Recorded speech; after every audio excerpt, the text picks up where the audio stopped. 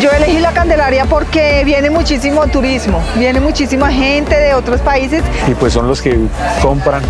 y pues este es el corazón de Bogotá. el mejor punto de venta y el mejor sector de Bogotá.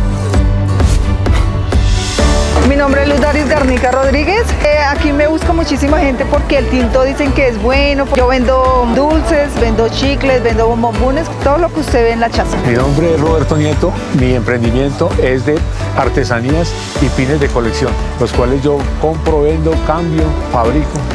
Luis Ángel Pérez Muñoz. Vendo pinchos de res con pollo, cerdo y solo carne.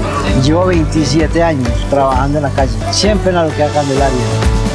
Hubieron tiempos muy difíciles. La pandemia fue una cosa que nadie la esperaba. Tuvimos muchísimos contratiempos porque no podíamos salir a trabajar, no había turismo, no había gente, no salía nadie. Entonces, ¿quién nos iba a comprar? Nadie.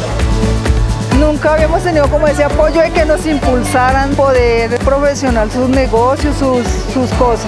Pero ya gracias a Dios ya hemos tenido un buen apoyo y muy bueno porque aprendimos muchas cosas. Pues yo he aprendido todo y ahorita pronto terminé un curso de marketing digital. Estamos en un curso de, de reciclaje, aprender todo eso, cursos de inglés con énfasis en, en ventas, que es lo que me hace falta aquí para, para entablar con los, con los turistas.